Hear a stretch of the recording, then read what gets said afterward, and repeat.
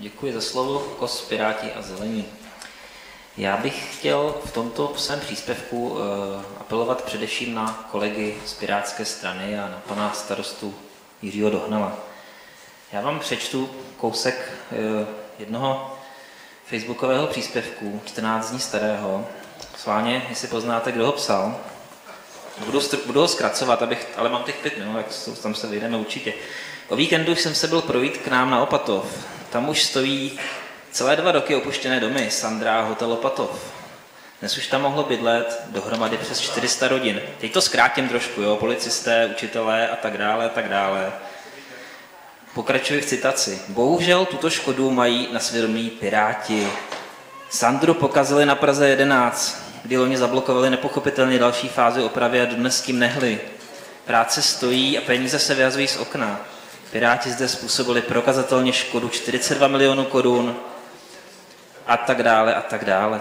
Takže e, poznali jste, kdo to psal, to není úplně pointou, jakoby, no možná je to pointou, jo? Byl, to tady pan, byl to tady bývalý pan radní e, Ondřej Prokop, který tady dnes bohužel není, což je velká škoda, jako nechci na něj útočit, když tady není, jo? Ale, ale bohužel nemůžu jinak. E, to, psal, to psal pan bývalý radní Ondřej Prokop z ANO.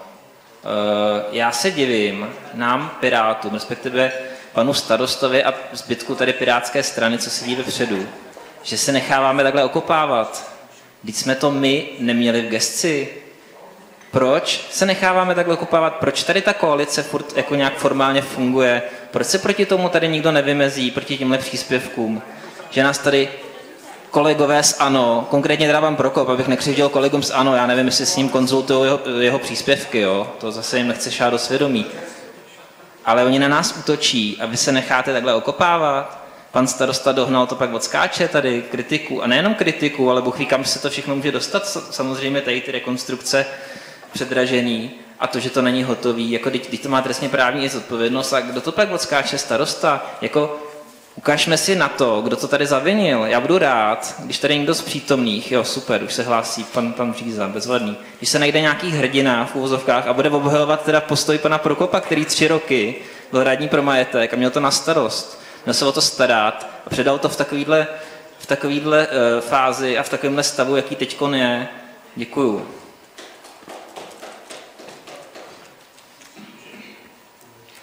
Děkuji za příspěvek. Technická, pan Ladislavko starší. Koz hnutí pro Prahu 11. Abych si dovolil synově odpovědět.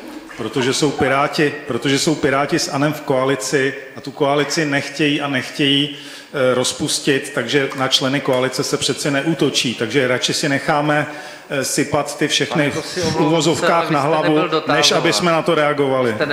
To bylo přesné tohleto. To bylo přesné, to bylo přesné, pane starosto. Tomáš Bříza, prosím. Přesné. Eh, Bříza, ano, no, Piráti, odvolali jste Ondru, tak si to teď musíte odskákat, no. Tak, děkujeme. Další řádný příspěvek do diskuze, pan předseda Robert Vašíček, prosím.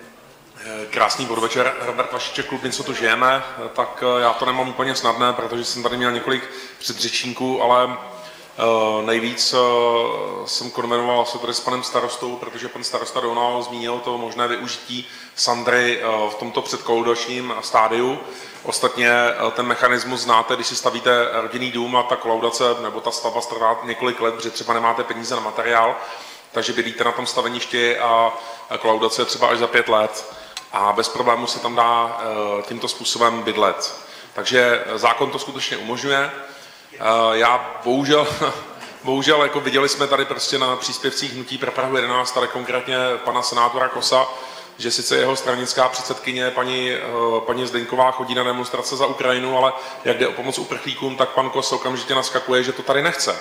Takže eh, tady vidíte možná to pokrytectví pana Kosa že to mají sice jako ve značce, ale, ale ve skutečnosti pomoc nechtějí, protože torpedují jakýkoliv nápad eh, tady tím směrem. Já jsem říkal, já možná jako točím blbá, blbá kontroverzní videa, ale, ale rozhodně, rozhodně jsem si zachoval v srdci špetku lidskosti a nedovolil bych si zneužívat eh, lidské neštěstí. Eh, v tomhle ohledu mě strašně mrzí, že Sandra se vlastně tímhle způsobem neustále politizuje, že se to dneska hraje jak v rámci koalice, tak, tak i, i takhle v opozici při hnutí pro Prahu 11, protože my jsme, a jsem, jsem první, který tady řval proti Sandře, jsem, jsem jeden z prvních, kdo prostě řekl, Sandru nikdy nepodpoříme, nelíbí se nám to, nechceme to, uh, nejradši bychom to sundali dolů, taky jsme navrhovali, že, že by bylo skvělé jí sundat prostě absolutně dolů a postavit tam novou radnici, což by za mě bylo úplně to nejlepší a to si místní občané taky přáli. Ale už jsme tam narvali peníze a v tohleto chvíli asi nebude úplně průchozí, abychom eh, šli tou cestou ostřelu Sandry, to už dneska nepřipadá v úvahu a nebudu se ani snižovat na takovou uh, hlubokou, uh, nebo spíš to není hluboká, ale tak nebudu, nebudu používat ani takovou suterénní politiku, uh, jako tady hnutí pro Prahu 11, abych tady torpédoval nějakou momentální situaci a zneužíval toho. Takže tak, jak vlastně tady hovořil, tak, jak se ptal pan, pan starosta, pana, pana, pana doktora, pana doktora tady z právního oddělení, jestli eh, souvisí vlastně pronájem nebo respektive poskytnutí Sandry eh, pro dočasný pobyt uprchlíků, podotýkám to dočasný, to je velmi důležité slovo, eh, tak já tvrdím, že souvisí a to z jednoho prostého důvodu, protože my jsme tady už na minulém a předminulém zastupitelstvu, respektive na tom pokračujícím zastupitelstvu, bavili o tom, že Sandra nevydělává korunky a že je třeba nějakým způsobem zvednout rozpočet, a aby Sandra začala generovat alespoň část zisku aby, aby, se, aby, aby tam nebyly pouze finanční ztráty, ale aby tam byl také nějaký zisk, případně aby si na sebe vydělal na svoji existenci. Eh, neumím si představit situaci, že bychom, eh, že bychom ubytovali nějaké potřebné lidi eh, právě v souvislosti s válkou na Ukrajině a že bychom je tam ubytovali na účet městské části. To absolutně nepřipadá v úvahu. Ve chvíli, kdy ale magistrát to po nás takto proaktivně vyžaduje a to usnesení by znělo tak, že s nimi budeme jednat, a bylo by tedy jasné, že nám magistrát eh, zaplatí eh, za pobyt eh, těchto lidí, tak si myslím, že nic nebrání tomu, abychom to vykonali jako akt lidskosti. Jak říkám, je to, je to teda ostuda, že tady máme senátora, který se proti tomu postavil. A netušil jsem, že já, známý to, nazvali mě tady, myslím, že z jednou klubu, známý to provokatér, takže zrovna já budu na té, na té straně dobrá a pan senátor tady bude představovat ten Mordor, to zlo. Ale eh, jako co by neudělal pro obhajobu svého senátorského křesla, no, já to chápu. Eh, asi ten příspěvek zkrátím, nemusím využít celých pět minut, ale každopádně eh, tu myšlenku podporuji z toho důvodu, že občané se na mě obracejí, Obracejí se na mě s tím, že se bojí, že budou omezeny jejich hodiny tělocviku, pakliže uprchlíci budou bydlet ve školách. Takže uh, chci říct, moji, moji voliči a občané Prahy 11 si nepřejí, aby uprchlíci byli uh, v tělocvičnách ve školách, ale, ale, eh, a to je důležité, rozhodně nebudou mít nic proti tomu, abychom využili Sandru jako ubytování a myslím si, že to je daleko důstojnější, než nechávat ty lidi v tělocvičně, také poskytnout jim toto důstojné bydlení. Eh, jak bylo řečeno, že tam z bezpečnostního hlediska třeba chybí podlahy, tak já si myslím, že červen podlahy, červen kuchyňské linky, dokonce bych se přikláněl k jedné věci, Teď přece můžeme udělat veřejnou sbírku, vyhlásit jako Praha 11, že scháníme od lidí prostě použité kuchyňské linky, čertvem, že to bude otřískané, ale důležité je, že tam nějaká bude a že ty lidé to budou moct použít. A mě je hrozně líto, že tady hnutí se prostě tak nelidsky směje a že, že tady představuje momentálně to, to zlo na Praze 11. Děkuju. Tak děkuji za dodržení časového limitu. S technickou paní kolegyně Hovorková, prosím. Hovorková hnutí pro Prahu 11. Já se chci ohradit proti výroku pana Vašíčka protože nikdo z Hnutí pro Prahu 11 není proti pomoci uprchlíkům. Ten, kdo tady minule rozděloval uprchlíky na levobřežní a pravobřežní a těm lidem tu pomoc odpíral, to byl on, ne my. Vašíček, přesně tak. Tak děkuji, prosím, aby ta diskuze případné faktické byly vedeny v klidné míře. Pan Ladislav starší, prosím. Tak já se ohrazuju rovněž proti výrokům pana Vašíčka. Eh, protože jsem tady nikdy neřekl, že jsem se postavil proti tomu, aby v Sandře bydleli uprchlíci. Eh, ta diskuze tady ještě ani nezačala. To za prvé, a pane Vašičku, možná, že jsem uprchlíkům pomohl mnohem víc než vy za tu dobu, co tady jsou, takže já bych prosil a vyprošoval bych si to, aby vaše další invektivy byly reálně podloženy, abyste nelhal. Tak já prosím, aby nebylo zneužíváno technických. Pan předseda Jiří Štiller. Ještě lér Hnutí pro Prahu 11, já bych se chtěl za zastupitelský klub Hnutí pro Prahu 11 vyhradit proti výrokům proruského trola pana Vašička, který nemluví pravdu. Děkuji. Tak prosíme do zápisu. Pan Robert Vašíček, předseda, prosím. Robert Vašíček, klub My, co to žijeme. Já bych eh, chtěl označit výrok pana Kosa za absolutní lež, protože před chvilkou v diskuzi řekl, že to nesouvisí, že ubytování uprchlíků se Sandrou nesouvisí a chtěl toto téma naprosto zakázat, Pane takže lže. Chcete Děkuju. něco do zápisu? Uh, ano, budu to dávat do zápisu, že pan Kosel lže. Tak prosím písemně na paní Volkovou, pan Vladislavko starší. Není tomu tak. Tak, řádný příspěvek Martin Sedeke, prosím. Já děkuji. Jenom drobnou radu předsedajícímu. Doporučuji utínat ty technické dříve. Ale. ale o tom jsem mluvit nechtěl. Já jsem chtěl reagovat na to, že vlastně vůbec se nebojíme o tom, co navrhl pan Vrchoč což podle mě mělo velkou hlavu a patu, totiž eh, týkalo se to, jak dál vlastně se Sandrou, týkalo se to toho, že by zastupitelé měli mít průběžnou informaci. Já osobně to považuji za docela dobrý návrh, už jenom z toho důvodu, že to vytváří určitý tlak eh, a pravidelnou kontrolu toho, jak věc se vyvíjí. Myslím si, že technicky to není vůbec žádný problém zajistit, eh, klidně prostřednictvím TDIčka, tedy technického rozhodu investora, který tam máme, plus případně dalších firm, které s námi na tom spolupracují, nechat připravit pravidelně na každé zastupitelstvo průběžně zprávu a tu zprávu tady otevřít. Myslím si, že samozřejmě je politickou diskuzí nad tím, kdo za to všechno může, ale na druhou stranu asi nám to nepomůže v tom, jak co nejrychleji tu stavbu dodělat tomu, co tady zaznívá, eh, týkající se využití eh, té Sandry pro ubytování ukrajinských uprchlíků, tak za sebe já eh, mám třeba u sebe na chalupě dvě rodiny a rozhodně nejsem proti pomoci ukrajinským uprchlíkům, ale považuji využití objektu Sandra pro ubytování ukrajinských uprchlíků za nevhodné. Nechci opakovat všechno, co řekl pan Vrkoč. Taky bych chtěl vidět toho požárníka, který se toto podepíše. E, silně pochybuju o tom, že nakonec se ukáže, že se nějaký najde, byť si umím představit, že teď nějaký přijde a bude říkat, že za určitých podmínek ano. E, já bych, e, Martina, ty rozumět, poprosím, nech mě mluvit. Já bych navíc upozornil na jednu věc, že pokud dneska někdo řekne, že jsou nějaké podmínky, které když splníme, takže to řekněme, eh, z hlediska eh, revizí a dalších eh, podmínek, které jsou podmíněny na otevření podepíše, tak se budeme bavit o tom, že to může trvat taky dva, možná tři měsíce, než dojde k realizaci této věci. A je otázka, jak si jednou filmu krásném dětském kresleném se paravilo, že co svět světem stojí, se nic nepostavilo v termínu. Takže je taky otázka, jestli by to skutečně bylo těch 8, 10, 12 týdnů. Za třetí, eh, mně tedy to nedává smysl ekonomicky.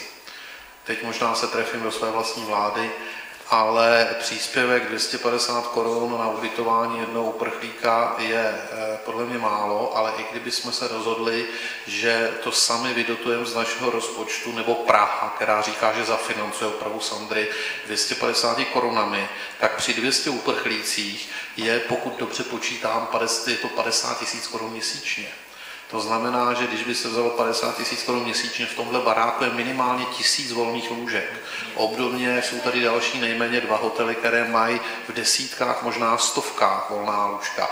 Jsem přesvědčen, že bavit se o cně kolem 500 korun příspěvku by otevíralo cestu k tomu ty uprchlíky tady eh, ubytovat a když jestliže 200 lidí by znamenalo přidat dalších 250 korun od nás rovná se 50 tisíc měsíčně, tak denně, denně, pardon, omlouvám se, měsíčně denně, tak se bavíme eh, o řádu desítky milionů korun a zprovoznění té Sandry by podle mě ročně, v tom případě, pardon, dá se to spočítat přesně, a zprovoznění té Sandry by asi nebylo moc letnější. Takže z tohohle všeho mě eh, ubytování uprchlíků v Sandře smysl příliš nedává. Neříkám, že by nestálo za to udělat nějakou lepší analýzu toho, co všechno by to znamenalo, ale jsem přesvědčen, že v finále té analýzy by konstatovalo, klidně ji udělejme, že jsou efektivnější a lepší cesty, jak ten problém vyřešit. Děkuji. Tak děkuji za řádný příspěvek. S dalším příspěvkem pan Ladislav Kostarší, prosím. Kozenutí pro Prahu 11. tak všichni dobře víte, že s panem Sedekem jsme na válečné stezce, dá se říct na možná ve válce přímo, eh, zejména kvůli eh, těm věcem kolem developerů. Eh, nicméně musím uznat, že prostě dovede hovořit věcně, nevím, jak ty, to, co řekl, je úplně jako te, technicky, technicky správné a podobně, ale všechno je to dané tím, že, že ten bod o tom, o tom ubytování těch uprchlíků, tak nám tady přistal na stole nějaký návrh usnesení, bez jakýchkoliv podkladů. Zase jsme tady, zase jsme tady ústně ujišťováni o něčem, tak jako jsme byli ústně ujišťováni o něčem už třeba eh, v rámci AR Delta, že AR Delta je eh, před bankrotem a podobně a uplynuly tři měsíce a neustále se staví. Takže já, já se omlouvám, ale já této radě prostě to, co od ní nemám černé na bílém, eh, nejlépe i s podpisem, tak, tak nevěřím. A tady prostě Eh, pan starosta od nás eh, chce něco deklarovat, ale eh, jako nedodal k tomu vůbec žádný materiál. A jestli je tomu tak, jak říká pan Sedeke, tak to opravdu nebude jednoduché. A já jsem tady nebyl od začátku a nevím, jestli tady padl třeba ten návrh, že sedíme tady, sedíme tady v hotelu, který má, já nevím, tisíc postelí, možná, že ještě víc těch postelí. A mně úplně není jasné a nikde jsem to neslyšel, a proto jsem i navrhoval ten bod, aby jsme se tady bavili o řešení uprchlické krize na Praze 11. Nebyl tady akceptován. Takže ty řeči, že mě to nezajímá, že jsem proti a podobně, tak ty nechci slyšet. Nezajímá to ty, kteří hlasovali proti. A neslyšeli jsme tady, jestli se pan Dohnal bavil s panem Dohnalem, mladším či starším, o možnosti ubytování uprchlíků tady v top hotelu. Jo? E, Neslyšeli jsme to. Takže e, jako můžeme si myslet leco z těch ubytovacích možností, navíc na Praze 11 Eh, jsou nějaké, já nevím, mě napadá třeba hotel u sportovní haly Chodov a jistě, kdo zná eh, tyhle ty věci víc, tak by navrhl nějaké další věci. Nevíme, jestli s nimi bylo jednáno nebo nebylo, jestli už všechny možnosti jsou vyčerpány, aby jsme volili tu cestu Sandry, která, jak jsme tady slyšeli od pana Sedekeho, který ten technický stav zná si dobře, kde vlastně něco, aby to bylo v uvozovkách obyvatelné, aby se pod to někdo mohl podepsat, eh, tak by to zřejmě chtělo řád mnoha týdnů nebo možná několika měsíců a možná, že to vůbec není technicky proveditelné. Jo. Takže jako to, mi, to mi tady strašně chybí, že vlastně jsme tady úplně odříznutí jakkoliv informací a najednou se tady eh, jako, jako volí jedna cesta. Eh, no a já bych si chtěl ale vrátit k tomu, k tomu vlastně původnímu, původnímu bodu, původnímu tématu bodu, který Eh, který tady byl. Mně ten návrh pana, pana Vrkoče se líbí, My, eh, není tam nic proti ničemu, je to jenom prostě žádost o ty informace kolem Sandry a myslím si, že by nic nemělo bránit tomu tento návrh odhlasovat, aby my zastupitelé jsme byli seznámeni ze situací v Sandře a co vlastně je potřeba k dokončení nebo nedokončení. A vlastně byl by to i nějaký krok k tomu, aby jsme získali aspoň kousek do mozaiky informací k tomu, jestli tam je nebo není možné někoho ubytovat. Takže eh, já jsem hrozně zvědavý na to hlasování o eh, tom usnesení pana Vrkoče, protože pokud neprojde, tak já to budu považovat za další utajování ze strany rady o informacích kolem rekonstrukce ubytovny Sandra. Děkuji. Tak děkuji za příspěvek a dodržení časového limitu. Další do diskuze pan kolega Vrkoč.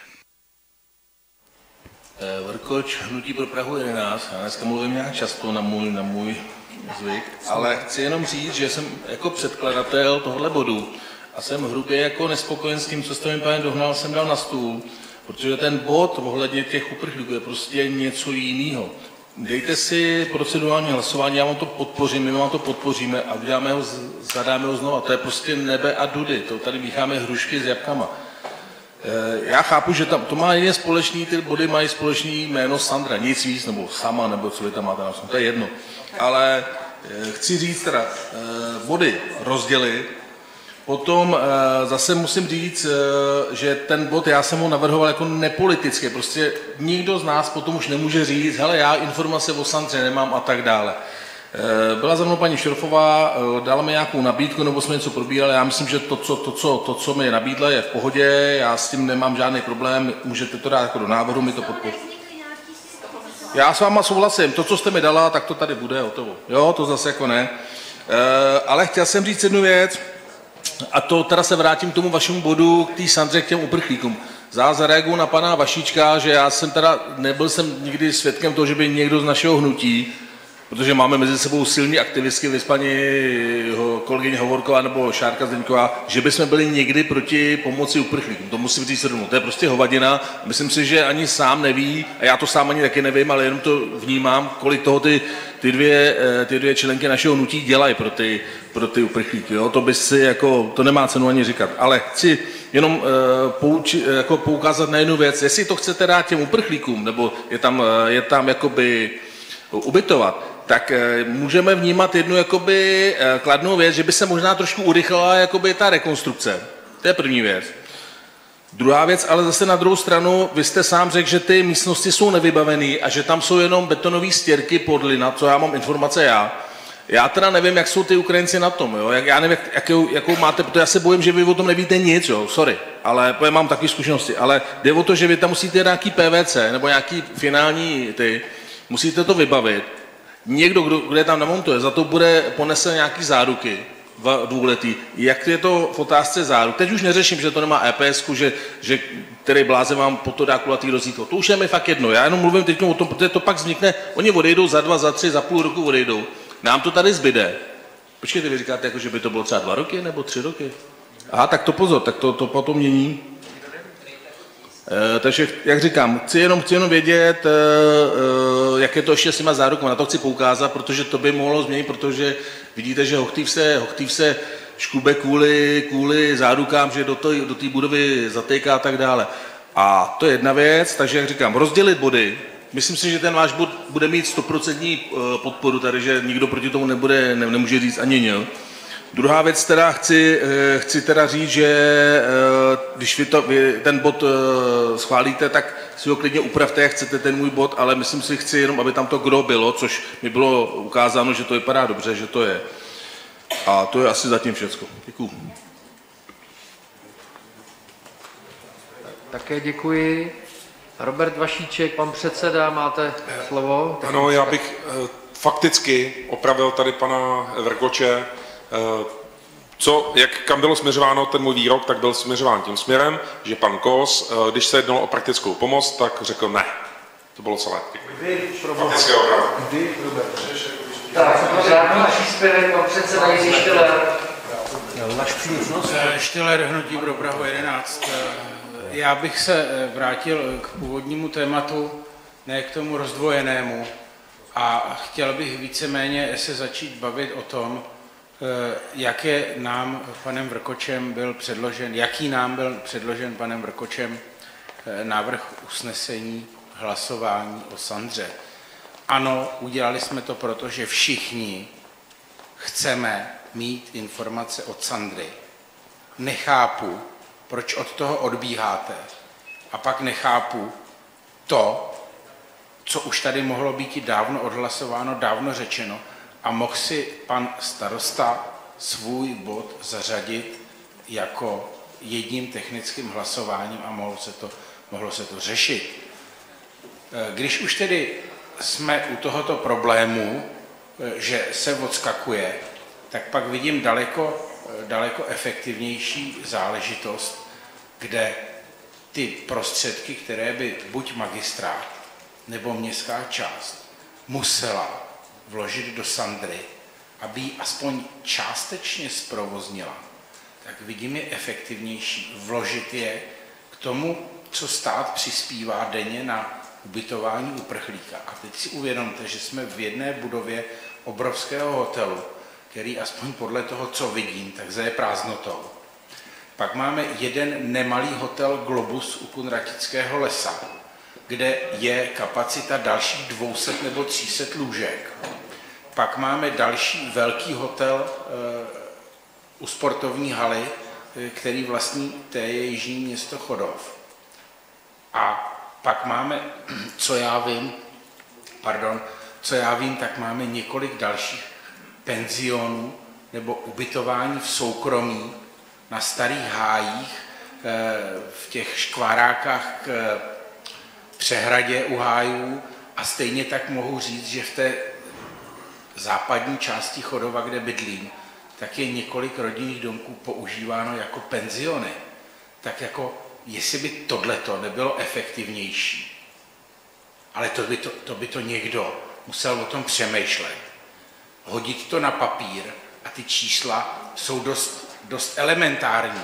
Ale pokud pan starosta, který má na starosti tuto problematiku, není schopen mi odpovědět na elementární otázky ohledně konstrukce a projektu Sandry, což dokazuje, že to vůbec nezná, a teď nám tady předloží takový blábol bez důvodové zprávy, bez čehokoliv a ještě to vecpává do jiného bodu jednání, tak potom je jednoznačný, že nemá ani ánung o tom, jak by to spočítal. Ale to není jeho úkol, on by to měl zadat. Na, na úřadě je dost schopných lidí, kteří by tohleto uměli spočítat a vymyslet. Ale on není schopen řešit eh, tenhle ten management, on je schopen řešit mikromanagement, kde s hasičema montuje postele a s dětma skáká na nafukovacích míčích. Tam patříte, pane starosto, ne sem na tenhle empire. Děkuji. Pěkně, pěkně. Tak děkuji za příspěvek. Další do diskuze paní kolegyně Hovorková, prosím.